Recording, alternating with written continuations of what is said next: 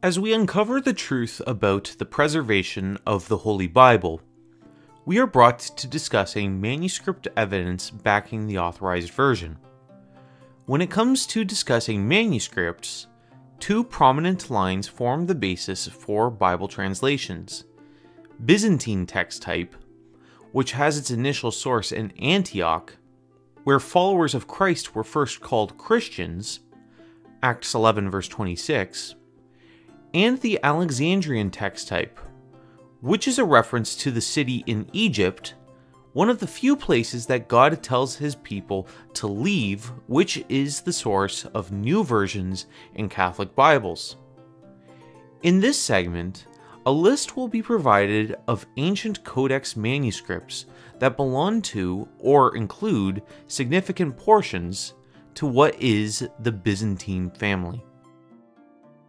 W. Washingtonianus. Q. Guelferbytanus, N. Petropolitanus Purpureus, O. Sinopensis. R. Nitriensis, Sigma purpureus rossanensis, Phi purpureus beer et tenus, E. basilensis AN 312, F. Boreelianus, G. Seidelianus 1 H. Seidelianus 2 L. Angelicus V. Mosquensis 2 Y. Macedoniensis Theta Koridethi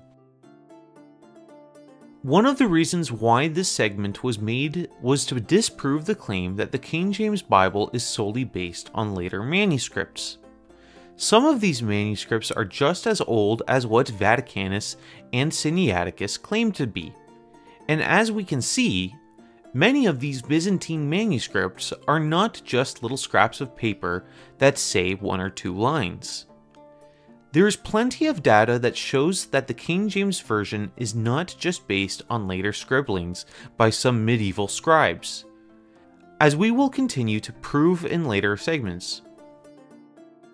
Psalm 12 verses 6 to 7 The words of the Lord are pure words, as silver tried in a furnace of earth, purified seven times.